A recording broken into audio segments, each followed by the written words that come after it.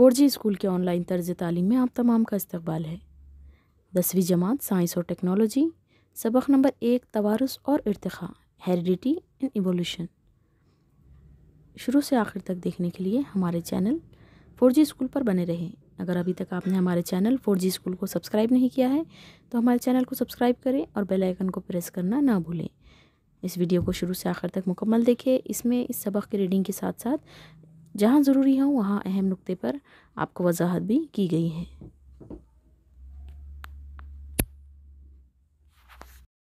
तवारस और इरतखा heredity and evolution. आज के सबक में हम इन नुकात पर मालूम हासिल करेंगे।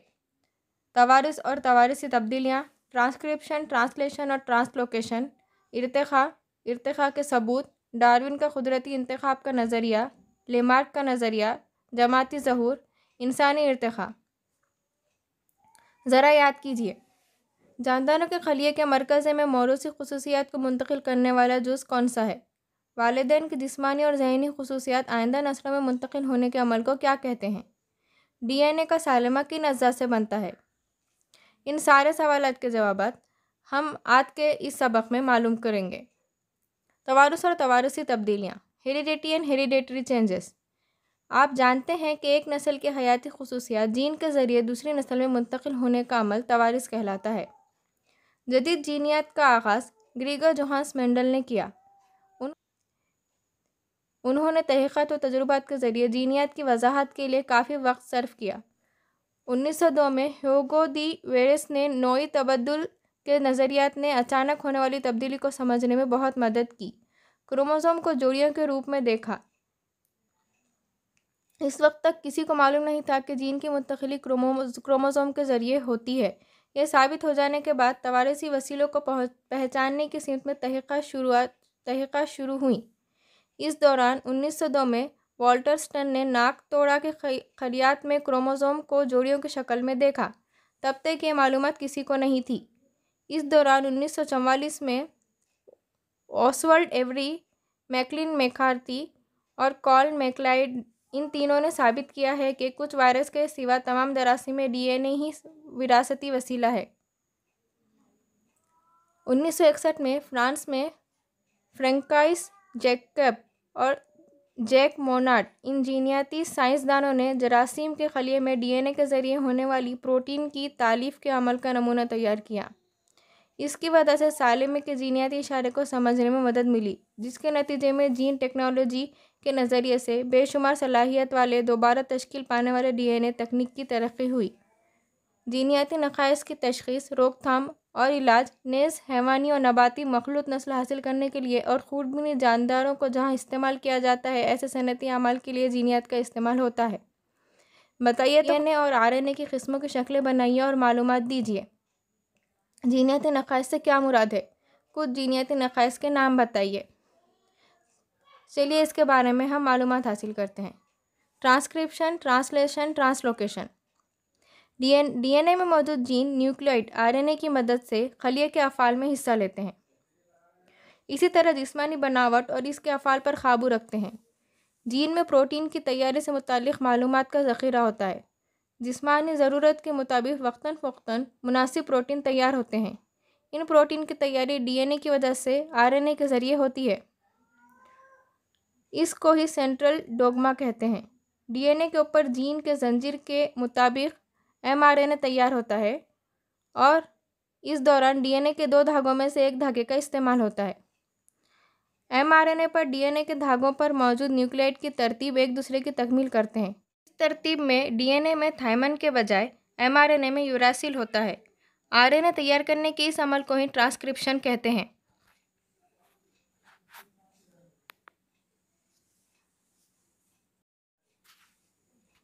खलिए के मरकज़े में तैयार शुदा एम आर एन ए खलिए माए में आता है। यह आते वक्त डी एन ए पर इशारती पैगाम कोड लेकर आता है। इस पैगाम में अमीनो एसिड के लिए कोड होता है। हर अमीनो एसिड का कोड तीन न्यूक्लियोइड पर मुश्तमिल होता है, जिसे कोडॉन कहते हैं। भारत के डॉक्टर हरगोविंद खुराना ने तमाम बेस अमीनो एसिड्स के लिए कोडॉन दरियाफ्त करने में अहम किरदार अदा किया। इसके लिए उन्नीस सौ अड़सठ में देगर दो साइंसदानों के साथ इन्हें भी नोबल इनाम से नवाजा गया। हर आर, हर एम ए हज़ारों कोडॉन से बना होता है। इस पर मौजूद कोड के मुताबिक अमीनो एसिड फराहम करने का काम टी आर एन ए करता है। इसके लिए जैसा codon M R N A पर होता है, इसके बरक्स anti codon T R N A पर होता है। इस अमल को ट्रांसलेशन कहते हैं। टी आर एन ए के ज़रिए लाए हुए अमीनो एसिड की पेप्टाइड बंदिश से जंजी तैयार करने का काम आर आर एन ए करता है। इस दरमियान ribosome M R N A के एक सिरे से दूसरे सिरे तक एक एक ट्रिपलेट कोडॉन के फासले से सरकते जाता है। इस अमल को ट्रांसलोकेशन कहते हैं। ऐसी बेशुमार जंजीरों के एक साथ आने पर पेचीदा प्रोटीन तैयार होते हैं। यही प्रोटीन के सालेमात जानदारों की शक्ल को तय करते हैं और इनके जिसम में मुख्तलिफ़ अफ़ाल अंजाम देते हैं। जानदारों में मौजूद जीन की वजह से वो अपने जैसे जानदार तैयार करते हैं और इसी से कुछ जीन अगली नस्लों को मुंतकिल होते हैं। इसलिए इन बच्चों में अमीनो एसिड अपने वालदेन में मौजूद प्रोटीन की तरह ही प्रोटीन तैयार करते हैं। यही वजह है कि वालदेन की खसूसियात बच्चों में भी दिखाई देती है। लेकिन कभी कभी जीन बिल्कुल वालदेन की तरह अमीनो एसिड तैयार नहीं करते कोई न्यूक्लियाई, कोई न्यूक्लियोटाइड कभी कभी गलती से अपनी जगह बदल देता है। इसकी वजह से कोई छोटा सा फ़र्क वाक़ हो जाता है। ये फ़र्क तब्दीली, नोई तब्दीली, म्यूटेशन कहलाता है। ये नोई तब्दीली कभी छोटा तो कभी बहुत वाज होता है। मसलन, नोई तब्दीली की वजह से सिक्कल से लेनी में जैसे दीनी नुक्स लाक होता है।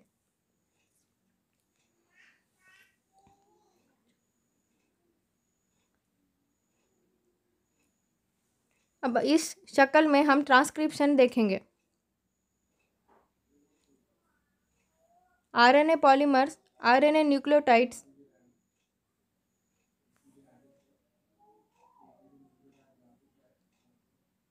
Transcription और translocation. मरकज़ा mRNA tRNA amino acid, ribosomes mRNA और बुनियादी कोडॉन। नोई तबद्दुल। बुनियादी तरतीब और तब्दीली।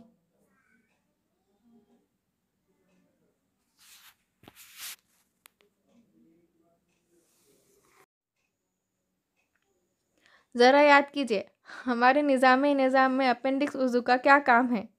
हमारी अक्लदार क्या वाकई गज़ा चबाने में मदद करती है?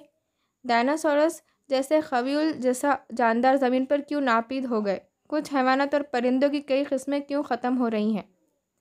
आइए इन सवाल के जवाब हम आगे के चैप्टर में मालूम करते हैं।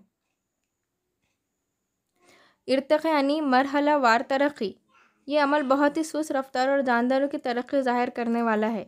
इरतका के ताल्लुक से खला में मौजूद सैारों से लेकर ज़मीन के जानदारों में आई तब्दीली तक कई मराहल पर गौर करना ज़रूरी है।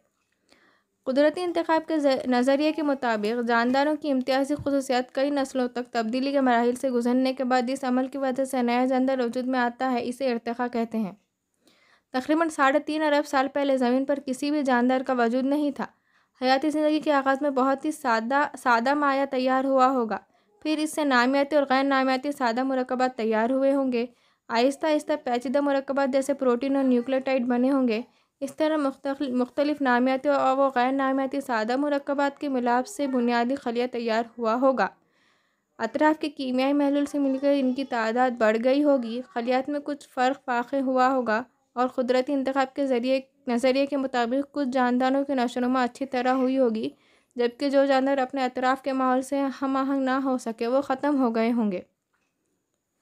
फ़िलहाल ज़मीन पर नबातात और हैवानात की करोड़ों किस्में हैं। शक्ल और साख्त के लिहाज से इनमें तनव पाया जाता है। खुर्द यक कलमी अमीबा, पैरामीशियम से लेकर देव हैकल भील मचले तक इनकी वसत है। नबातात में यक कलवी क्लोरेला से बुलंद व बाला बरगद के दरख्त तक बेशुमार नबाताती किस्में ज़मीन पर दिखाई देती हैं। ज़मीन पर चारों तरफ़ ख़त इस्तवा से लेकर दोनों खुदबंद तक जानदार नज़र आते हैं। हवा, पानी, ज़मीन, चट्टान, हर जगह जानदार मौजूद है। कदीम ज़माने से ही इंसान को यह तजस रहा है कि ज़मीन पर ज़िंदगी का आगाज़ कैसे हुआ और इसमें इतना तनो कहाँ से आया होगा। जानदारों की इब्तदा और इनमें तरक् पर आज तक मुख्तलिफ़ नज़रियात क़ायम किए गए। इनमें जानदारों का इरतखा या जानदारों की मरहला वार तरक्की इस नज़रिए को तमाम लोगों की हिमायत हासिल है। इरतका यानी जानदारों में या नबातात में होने वाली तब्दीली। आसपास के माहौल के लिहाज से जानदारों को अपने आप को उसमें ढाल लेने को इरतका कहते हैं। नज़रिए इरतका थेरी ऑफ़ इवोल्यूशन इस नज़रिए के मुताबिक, पहला हयाती मादा समंदर में पैदा हुआ।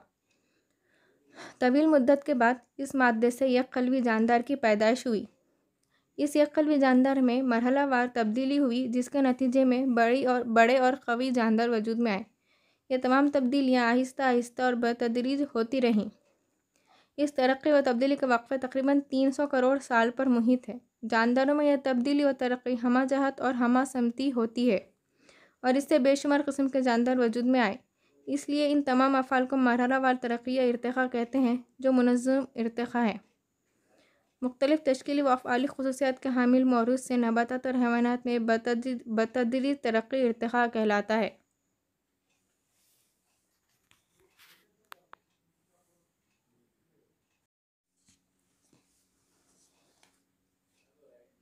इरतखा के सबूत एविडेंस ऑफ़ एवोल्यूशन मुंदरजा बाला नज़रिए को अजमाली तौर पर हम ऐसा कह सकते हैं कि इरतखा एक मुसलसिल होने वाला मुकम्मल अमल है, लेकिन इसे साबित करने के लिए सबूत दरकार हैं।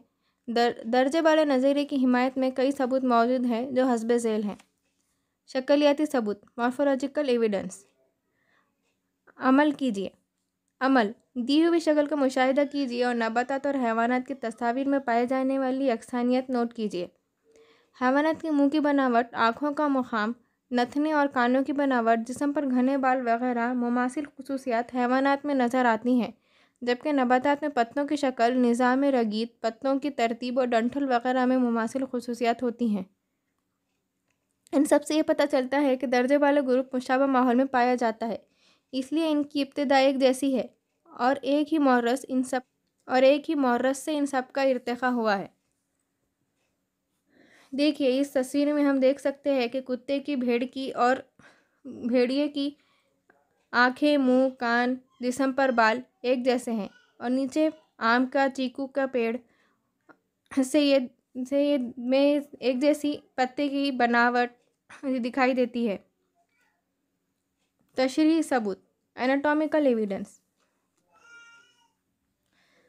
तस्वीर का बगौर मुशाहिदा करें तो इंसानी हाथ बैल का पैर चमगाडर का पंख और वेल मछली के जनफे में कोई अक्सानियत नज़र नहीं आती। इसी तरह इन अज़ा के जानदारों में इस्तेमाल भी मुख्तलिफ़ है, इसलिए इनकी साख भी अलग है। लेकिन हर एक जानदार के अज़ों में हड्डियों की बनावट और जोड़ों में मुमासिलत नज़र आती है। इससे इशारा मिलता है कि मुमासिलत इनके आबाद व अजदाद के जैसी हो सकती है। इस तस्वीर में हम देख सकते हैं कि इंसानी हाथ, बैल का पैर चमकाडर का पंख और वेल मछली के जनफे के हड्डियाँ किस तरीके से अलग अलग तरीक़े से जुड़ी हुई है?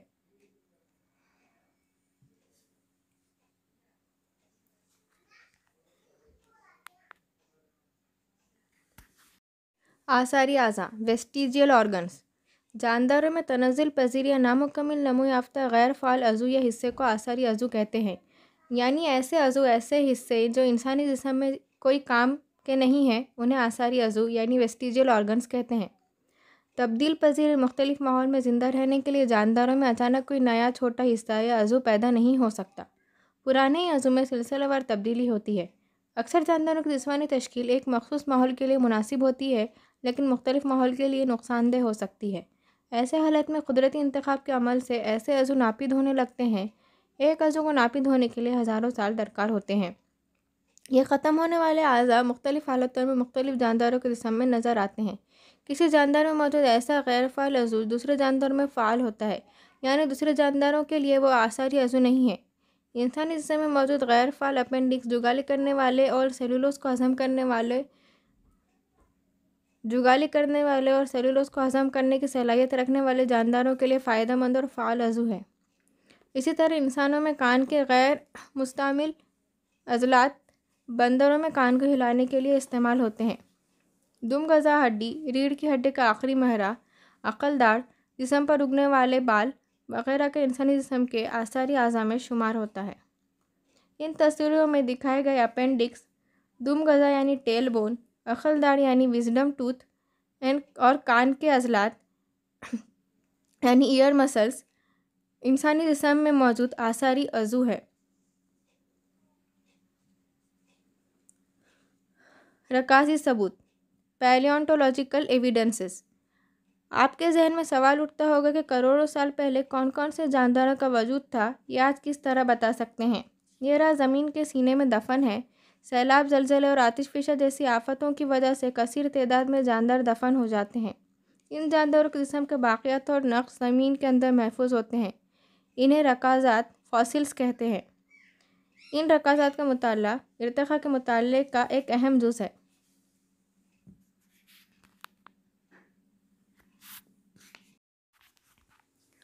जब हैवानात नबातात मर जाते हैं तो इनमें कार्बन जज्ब करने का अमल रुक जाता है। और इस वक्त सिर्फ़ एक अमल सी फोर्टीन की तनजुल पजीरी मुसलसिल जारी रहती है। सी ट्वेल्व तापकान ना होने की वजह से मुर्दा हैवानात नबातात में सी फोर्टीन और सी ट्वेल्व का तनाजुम मुस्तकिल ना रहकर मुसलसिल तब्दील होता रहता है। किसी हैवान या पौधे के ख़त्म होने के बाद का ज़माना इनमें मौजूद सी फोर्टीन की फ़ालियत और सी ट्वेल्व और सी फोर्टीन के दरमियान तनासिब मालूम करके ज़माने की पैमाइश करते हैं। इसको कार्बनी पैमाइश जमा कार्बन डेटिंग कहते हैं। इस इसका इस्तेमाल इल्म, रकाजात और इंसानी नस्ल में आसारियात और रकाजात और दस्ती तहरीरों का ज़माना मुकर करने के लिए किया जाता है। इस कस्म की तकनीक के ज़रिए रकाजात का ज़माने मुतन करने के बाद इन्हें ज़माने की पैमाइश के मुताबिक एक जदवल में तरतीब देकर इस वक्त मौजूद जानदारों की मालूम हासिल करना आसान होता है। इस तरीके से ज़ाहिर होता है कि गैर फ़िक्री हैवाना से फ़िक्री हैवानात वजूद में आए होंगे।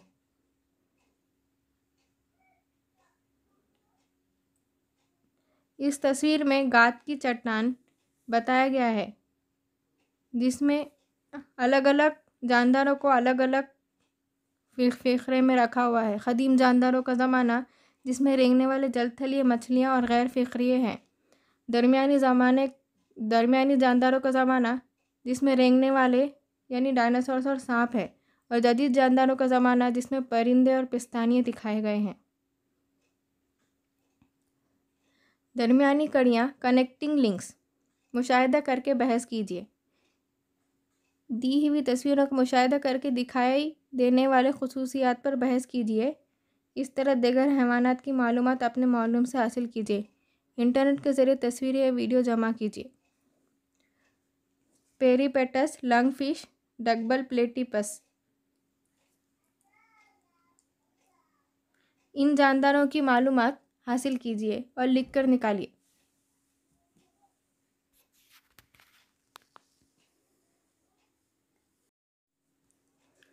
कुछ नबातात और हैवानात में चंद जिस्मानी निशानियाँ एक जैसी होती हैं, जिनकी बुनियाद पर इनका दूसरे दो मुख्तलिफ़ ग्रुपों से ताल्लुक़ जोड़ सकते हैं।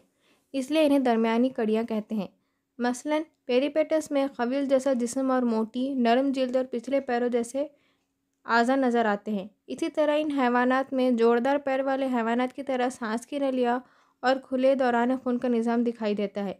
इसी सबब पेरीपेटस एनालिडा और जोरदार पैर वाले इन दोनों जमातों के दरमियान एक कड़ी की हैसियत रखता है। इसी हैवान रेंगने वाले हैवान की तरह अंडे देता है, लेकिन पस्तान की मौजूद, लेकिन पस्तान की मौजूदगी और जिसम पर बाल होने की वजह से पस्तानी हैवानात से अपने रिश्ते का इशारा देता है। लंग फ़िश मछली होने के बावजूद फेफड़ों से सांस लेती है।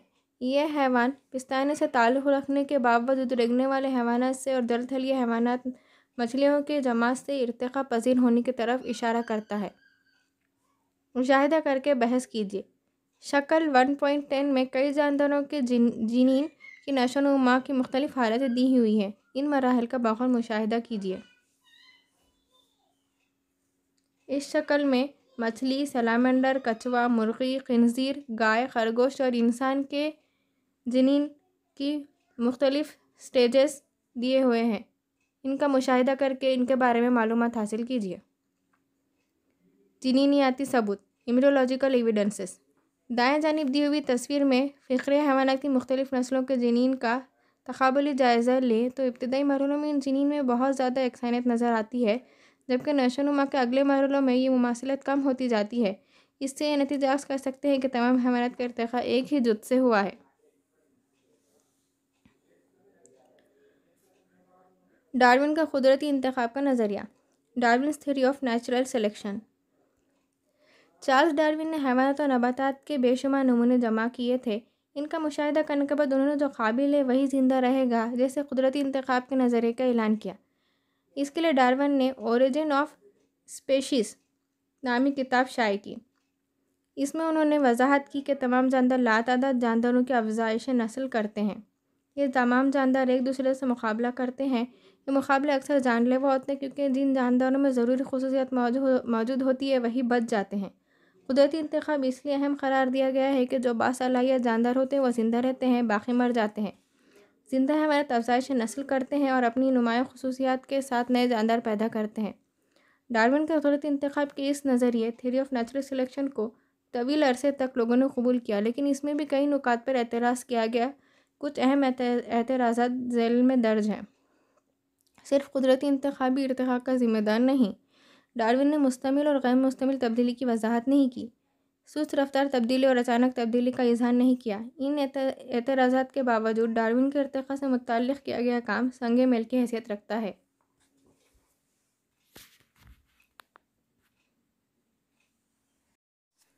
साइंसदानों का तारफ़। चार्ल्स रॉबर्ट डार्विन 1809 से अठारह इस अंग्रेज़ माहर हयातियात ने इरतहा का नज़रिया पेश किया। उन्होंने साबित किया कि जानदारों के तमाम अनवा एक जैसे आबाद अजाद से और हज़ारों साल की मुद्दत के बाद मरहला वार वक़ू पजीर हुए। इनके वक़ू पजीर होने में कुदरती इंतखब का असूल एक बहुत बड़ा सबब है। डार्विन का नज़रिया इस बात की वजाहत करता है। लेमार्क का नज़रिया, लेमार्किज़म। इरतक़ अमल के दौरान जानदारों की जिसमानी बनावट में तब्दीलियाँ होती हैं। जानदारों की कोशिश और काहिली इन तब्दीलियों की वजह है। इस नज़रिए को जैन बाप्टिस्ट लिमार्क ने पेश किया। उन्होंने, इससे उन्होंने आज़ा के इस्तेमाल और गैर इस्तेमाल, यूज़ ऑफ़, यूज़ और डिसयूज़ ऑफ़ ऑर्गन्स नाम दिया। उन्होंने मज़ीद वजाहत की कि ज़िराफ नस्ल दर नस्ल अपनी गर्दन लंबी करके दरख्तों के पत्ते खाने की वजह से लंबी गर्दन वाले लोहार के कंधे घुन के इस्तेमाल की वजह से ताकतवर हो गए। मुर्ग ईमो जैसे परिंदों के पर इस्तेमाल ना करने की वजह से कमज़ोर हो गए हैं। हंस और बतख के पैर पानी में रहने से तैरने के काबिल हो गए। सांप अपने जिस्म को बिल में रेंग कर जाने के काबिल बनाने में पैर से महरूम हो गए। ये तमाम मिसालें अक्स करदा खसूसियात एक्वाइड कैरेक्टर्स की शक्ल में एक नस्ल से दूसरी नस्ल में मुंतकिल होती हैं। इसे अक्स करदा विरासती खसूसियात का नज़रिया theory of inheritance of acquired character या लेमार्क नज़रिया कहते हैं।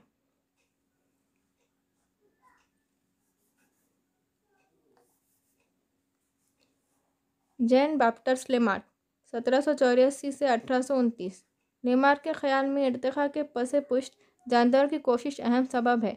मुताल फितरत के इस फ्रांसीसी माहिर ने ख्याल भी पेश किया कि हर हैवान और पौधे की ज़िंदगी के दौरान तब्दीलियाँ होती रहती हैं। और ये तगैरत अगली नस्ल में मुंतकिल होते जाते हैं, इसलिए हर नस्ल में तब्दीली वाक़ होती है। इस शक्ल में ज़िराफ में होने वाली तब्दीली दिखाई गई है। मुख्तलिफ़ नौीयत की कोशिशों का सबब, जिसमानी अज़ा का इरतका या कोशिश ना करने से होने वाले नुस्ख को तो तस्लीम कर लिया गया, लेकिन इसका नस्ल दर नस्ल मुंतकिल होना तस्लीम नहीं किया गया, क्योंकि ख़ुद में लाई गई तब्दीली नई नस्ल को मुंतकिल नहीं की जाती। इसकी कई बार जाँच की गई और लेमार्क के नज़रिए में गलती नज़र आई। जानदार के हयात के दौरान जो खसूसियात इसने अक्स की हैं, वो अगली नस्ल में मुंतकिल की जा सकती हैं। इसे ही अक्स करदा खसूसियात की जीनियात कहते हैं।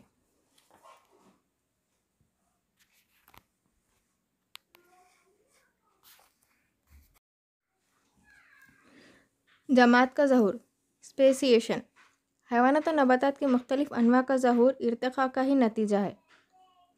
कुदरती बार आवरी के ज़रिए बारहवा नस्ल तैयार करने की सलाहियत रखने वाले ग्रोह को नू स्पीशीज़ कहते हैं।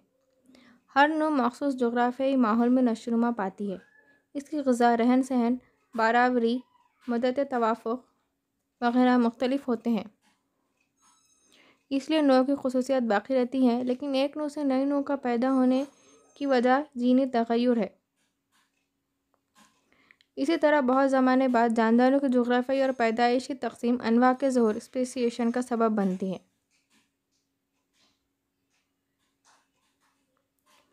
इंसानी इरतखा ह्यूमन एवोल्यूशन बहुत ही मुहिम एक खलवी जानदार से लेकर आज हमें मालूम जानदारों नामियाती में तनु नज़र आता है।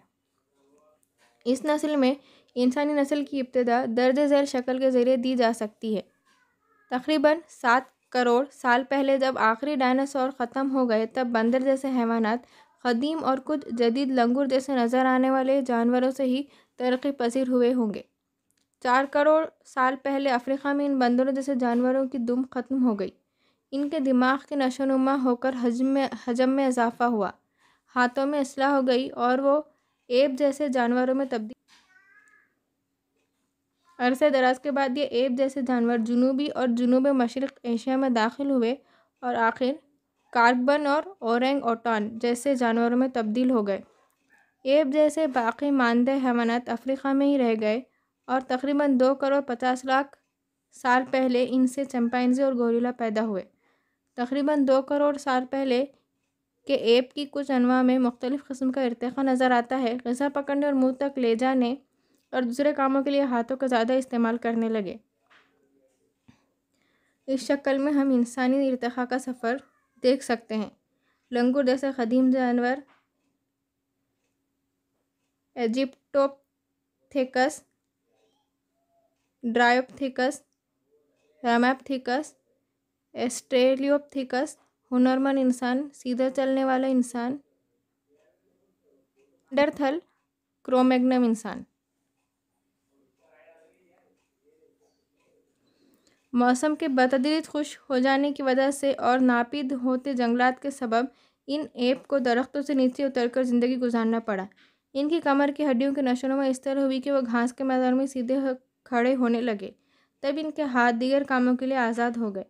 ये हाथों का इस्तेमाल करने और सीधे खड़े रहने वाले इंसान नुमा जानवर तकरीबन दो करोड़ साल पहले ही वजूद में आए। अफ्रीका और शुमाली हिंदुस्तान का रामैपथिकस पहले इंसान नुमा जानवर कहलाया। ये ऐप आगे चलकर ज़्यादा बड़ा और जहीन हो गया। तकरीबन चालीस लाख साल पहले जनूबी अफ्रीका में ऐप का इरतका हुआ।